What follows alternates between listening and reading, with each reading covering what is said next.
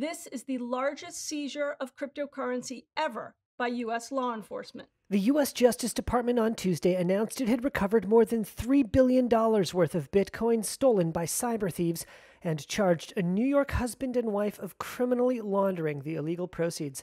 Deputy Attorney General Lisa Monaco said the accused couple conspired to launder almost 120,000 bitcoins stolen after a hacker broke into digital currency exchange Bitfinex in 2016. As part of this investigation, the Department of Justice has seized over $3.6 billion worth of that stolen cryptocurrency. Prosecutors say Ilya Lichtenstein and his wife Heather Morgan were arrested and charged with trying to conceal the illegal proceeds through purchases of gold, cryptocurrency, digital non fungible tokens, and even a Walmart gift card. Reuters did not reach the accused for comment. I'm going to tell you my secret for making dreams a reality. The couple had active public profiles, with Morgan known as the amateur rap singer Razzlekhan, a pseudonym that she said on her website referred to Genghis Khan, quote, but with more pizzazz.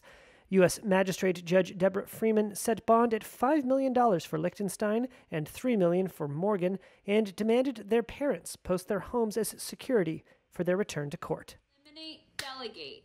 Okay, repeat with me.